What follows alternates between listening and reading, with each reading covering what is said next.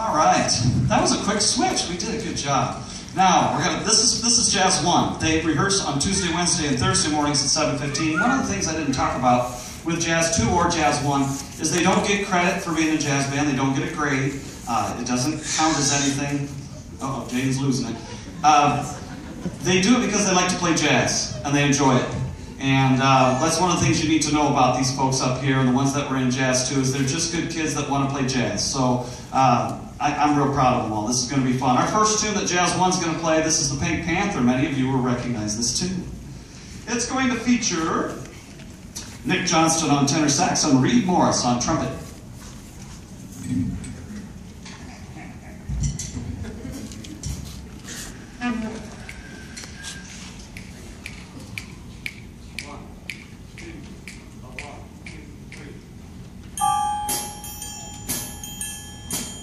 Mm-hmm.